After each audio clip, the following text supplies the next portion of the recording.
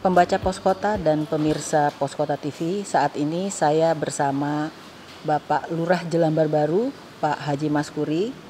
Nah, eh, kita akan berbincang-bincang soal penanganan COVID-19 di daerah Jelambar Baru. Eh, Pak Lurah, selamat. Ya.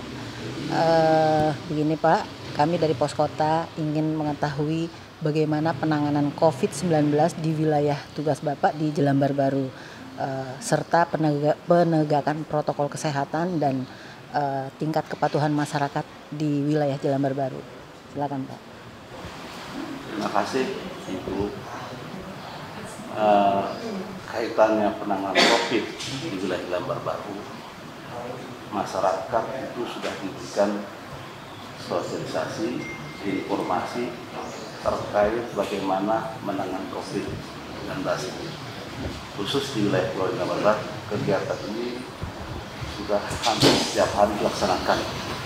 Karena itu salah satu upaya bagaimana uh, COVID-19 harus kita hadapi dengan cara kita mengikuti protokol kesehatan terutama menyampaikan kepada warga RT, RW, tokoh masyarakat, LNK kaitan kita menggunakan masker. Penggunaan masker itu salah satu upaya bagaimana kita bisa merespon untuk memutus mata rantai penyebaran COVID. Karena dengan bermasker kita bisa berusaha menjaga jarak juga termasuk dan juga mencuci tangan. Nah itu 3M yang terkenal di wilayah Kelurahan Damar Baru. Nah sejauh mana itu lurah dan jajaran sering sounding, tentunya masyarakat juga merespon, saya lihat, saya pantau, bisa melaksanakan kegiatan tersebut. Dengan saling mengingatkan warga, barangkali ada warga yang tidak memakai masker, diberi kalau tidak punya, dan selalu mengingatkan. Kemudian juga selalu memonitor bagaimana penanganan COVID itu bisa terlaksana dengan baik, ini tidak lepas dari peran RT, RW, LMK, RKDM saling bahu-bahu bagaimana pelaksanaan tiga itu yang sudah ditetapkan pemerintah termasuk gambar baru bisa dilaksanakan dengan baik. Karena dampak dari uh, COVID-19 sangat terasa di wilayah khusus gambar baru terkait dengan ekonomi masyarakat juga bisa terkendal terkendala kemudian juga masalah pendidikan anak juga bisa terhambat sehingga masyarakat anak-anaknya itu belajar di rumah. Itu salah satu uh, dampak dari COVID-19. Tentunya ini dari belajar pemerintah tidak bosan dan selalu mengingatkan, mengajak untuk bahu-membahu ikuti protokol kesehatan dengan penuh disiplin, penuh tanggung jawab sehingga upaya-upaya kita itu bisa berhasil dan berharap segera COVID-19 ini bisa berakhir ya Pak ya. Uh, hengkang dari wilayah Jambar ya. Baru. Uh, kalau sosialisasi sendiri dilakukan dengan cara apa Pak? Door to door atau sosialisasi dengan mengumpulkan masyarakat? Selama ini uh, sosialisasi yang kami berikan kepada masyarakat tidak lepas dari kebersamaan, tentunya dengan cara uh, ronda COVID.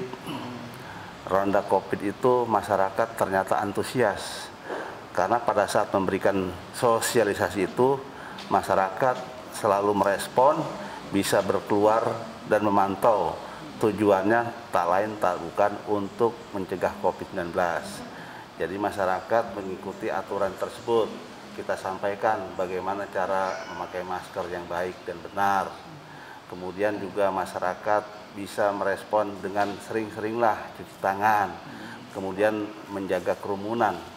Karena pada saat ronda COVID itu terlepas dari hal sesuatu yang sangat direspon yaitu ada kentongan. Hmm. Jadi mereka melihat ada apa itu. Ternyata itu salah satu upaya sehingga masyarakat tertarik, tertarik dan bisa melihat hal-hal yang disampaikan pemerintah Kelurahan Lambar Baru untuk memberikan pencerahan, sosialisasi sehingga bisa direspon dengan cepat. Kalaupun yang tadinya dia tidak memakai masker, segera dia pakai, pakai masker. masker. Nah, itu salah satu upaya yang kami berikan dengan memaksimalkan kegiatan ronda COVID di wilayah. Ya.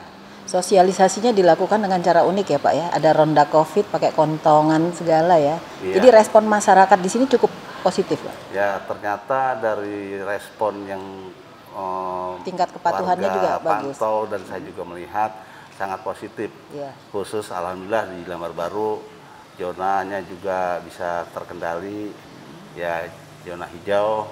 Kemudian juga saya monitor eh, mudah-mudahan di Lambar Baru tuh warganya sehat. Jadi mereka itu pada saat eh, apa yang disampaikan eh, pemerintah kelurahan, lurah dan jajaran Ya. bisa diikuti dan mudah-mudahan ini bisa terus sehingga minimalisir uh, COVID-19 itu Supaya segera uh, berakhir ya Pak ya. tidak banyak di sini walaupun ada Ya. tapi tidak bisa terpantau intinya tetap mereka warga mengikuti protokol kesehatan Ya. Terus eh, gini Pak, terkait dengan libur panjang akhir pekan, long weekend minggu depan minggu ini, eh, ada imbauan pemerintah supaya masyarakat itu tidak keluar kota, masyarakat Jakarta tidak keluar kota. Nah tentu sebagai lurah, eh, Bapak juga menghimbau warga eh, kelurahan Jelambar Baru supaya tetap di rumah saja. Bagaimana Pak? Apakah imbauan ini sudah Ya, saya antusias dengan libur panjang ini kita manfaatkan dengan baik. Nah, terutama pada saat COVID-19 ini saya himbau kepada warga kalau memang tidak terlalu penting pulang kampung tetap di rumah saja.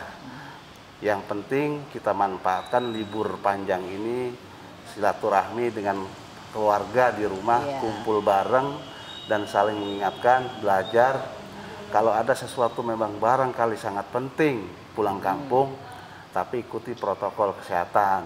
Itu kalau yang sangat penting. Tapi kalau yang tidak penting, cukup tinggal bersama di rumah saja. Seperti lebih itu. baik di rumah saja ya Pak ya, Iya. mengisi waktu dengan hal-hal yang positif. Hal positif, belajar, kemudian juga selalu ikut apa eh, memonitor perkembangan dan informasi-informasi yang disampaikan eh, RT RW tokoh masyarakat untuk diam di rumah dan tetap jaga kesehatan, tidak eh, berkerumun. Jadi gunakanlah kesempatan yang baik ini libur panjang dengan hal-hal yang positif. Oke, baik terima kasih Pak Lurah atas eh, eh, komentarnya soal penanganan COVID di Kelurahan Jelambar Baru. Baiklah pemirsa dan pembaca pos kota, demikian bincang-bincang kami dengan Lurah Jelambar Baru Bapak Haji Maskuri.